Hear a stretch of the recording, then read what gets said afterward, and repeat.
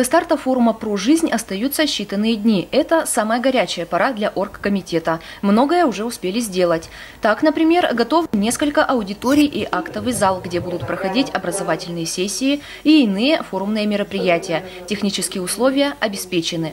Работники общежития уже вносят последние штрихи в создание уюта и комфорта в комнатах, где будут проживать участники, в том числе и гримчане, желающие находиться в гуще событий.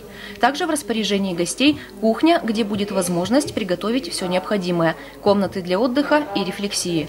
Конечно, сложно представить молодежный форум без посиделок и песен у костра. И сейчас готовится специальное костровое место на территории колледжа. Массовые мероприятия согласуются с официальными структурами – Центра Спас Югория и полицией. Мы рады приветствовать всех участников в этом году. Э, шестой молодежный форум будет проходить вот в этом замечательном здании, э, в комфортабельных условиях. В общем, будем здесь жить, учиться, в общем, заниматься. Мы очень рады. В организации форума задействованы молодые и гримские специалисты из разных сфер – творческой, музыкальной, спортивной. По словам Татьяны Стрижовой, администрация поселения во главе с Тамарой Грудо и администрация колледжа под руководством директора Людмилы Гейстониной оказывают помощь подготовке и следят за ее качеством.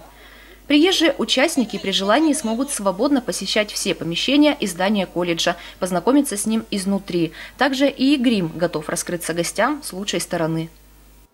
А мы готовы ознакомить, скажем так, ребят с нашей базой технической, с учебными аудиториями, то есть как реклама такая своего рода. Вот. А, но если, допустим, у нас будут мероприятия все-таки за территорией, например, там планируется, то могут увидеть, конечно, красоту нашего поселка и то есть замечательно, там, допустим, футбольное поле у нас, площадь центральная, то есть ну, вполне возможно что мы немножко отсюда будем выходить. Основная идея форума – помощь в создании и реализации социально значимых молодежных проектов в разных сферах жизни – ЖКХ, спорт, культура, образование. И подобные мероприятия – лучшая площадка для инициатив. И это очень замечательно, потому что будет очень сплоченная команда в результате, а потом даст хорошие результаты, то есть на хорошую работу уже скажем так, в своих муниципальных образованиях. Ну и в том числе, конечно, в Игриме.